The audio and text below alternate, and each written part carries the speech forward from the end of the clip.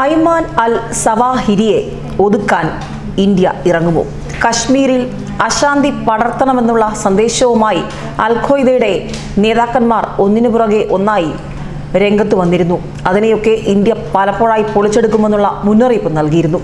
ഏതായാലും അതിർത്തി കടന്നുള്ള ഭീകരവാദത്തെ ഒരു തരത്തിലും പ്രോത്സാഹിപ്പിക്കില്ല എന്ന ഉറച്ച നിലപാടെടുത്ത ഇന്ത്യ കശ്മീരിൽ അശാന്തിയുടെ എന്ത് വിത്ത് ഭീകരവാദികൾ പാകിയാലും അതിനെയൊക്കെ മൂടോടെ പിഴുതെറിയുമെന്ന പലപ്പോഴായി മുന്നറിയിപ്പ് നൽകി കഴിഞ്ഞിരിക്കുകയാണ് ഏതായാലും കശ്മീരിലെ ഇപ്പോഴുള്ള ശാന്തമായ അന്തരീക്ഷത്തിന് ഒരു ക്രെഡിറ്റ് കൊടുക്കണമെങ്കിൽ അത് കേന്ദ്രത്തിലെ ബി ജെ പി സർക്കാരിന് തന്നെ നൽകേണ്ടി വരും. കാരണം അമിത്ഷാ കേന്ദ്ര ആഭ്യന്തരമന്ത്രി ആയതിനു ശേഷം കശ്മീരിൽ നടത്തിയ സന്ദർശനങ്ങൾ അവിടുത്തെ വിഘടനവാദികളുടെ നിലപാട് ഇതൊക്കെ ഗൗരവമുള്ള ചർച്ചയായതാണ്. ഇപ്പോൾ അശാന്തിയിൽ നിന്നും ശാന്തിയുടെ താഴ്വരയായി കശ്മീർ മാറുന്നുണ്ടെങ്കിൽ അതിന് വലിയൊരു കയ്യടി തന്നെ കേന്ദ്ര സർക്കാർ അർഹിക്കുന്നുണ്ട്.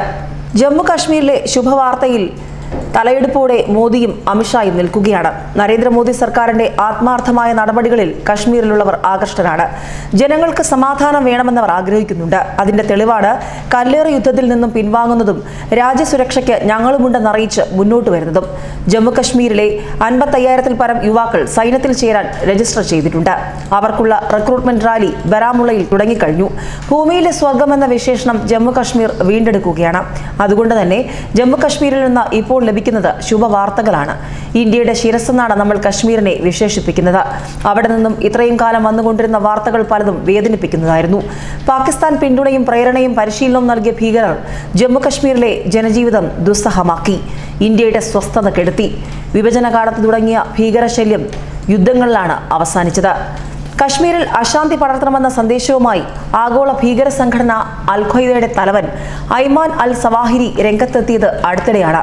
പുതിയ വീഡിയോ സന്ദേശത്തിൽ കശ്മീരിനെ പ്രധാന കേന്ദ്രമാക്കി മാറ്റി ആക്രമണം നടത്താനുള്ള ആഹ്വാനവുമായാണ് കൊടും ഭീകരൻ രംഗത്തെത്തിയത്. കശ്മീരിലെ പ്രാദേശിക ഭീകര സംഘടനകൾ ഒന്നിക്കണമെന്നും ഇന്ത്യൻ സൈന്യത്തിനും സന്നാഹങ്ങൾക്കും നേരെ തുടർച്ചയായ ആക്രമണം നടത്തണമെന്നുമാണ് സവാഹിരിയുടെ ആഹ്വാനം. എന്നാൽ ഈ വിഷയത്തെയൊക്കെ ഇന്ത്യ ഗൗരവത്തോടെ തന്നെ കണ്ടിട്ടുണ്ട്. കശ്മീർ വിഷയത്തിൽ പാകിസ്ഥാനെ വിശ്വസിക്കരുതെന്നും ഭീകരാക്രമണങ്ങൾ വഴി ഇന്ത്യൻ സർക്കാരിനെ അസ്വസ്ഥരാക്കണമെന്നും ഇന്ത്യക്കുണ്ടാകുന്ന ആൾനാശവും സന്നാഹ നഷ്ടവുമായിരിക്കണം ഭീകരരുടെ ലക്ഷ്യമെന്നും സവാഹിരി വീഡിയോയിൽ പറയുന്നുണ്ടെങ്കിലും വിദ്യാസമ്പന്നരായ കശ്മീരിലെ യുവാക്കൾ പഴയതുപോലെ അക്രമമാർഗത്തിലേക്കില്ല. ഇന്ത്യക്കൊപ്പം തന്നെ അടിയുറച്ചു നിൽക്കും. ഇതിന് എല്ലാ പിന്തുണയുമായി അമിത്ഷായും നരേന്ദ്രമോദിയും കേന്ദ്ര സർക്കാരും രംഗത്തുമുണ്ട്. ഇനി കശ്മീരിലെ യുവാക്കളെ ഭീകരവാദത്തിലേക്ക് തള്ളിയിടാൻ ആർക്കും സാധിക്കില്ല. അവർ ഇന്ത്യക്കൊപ്പം തന്നെ അടിയുറച്ചു നിൽക്കും. ന്യൂസ് ഡെസ്ക് മലയാളി വാർത്ത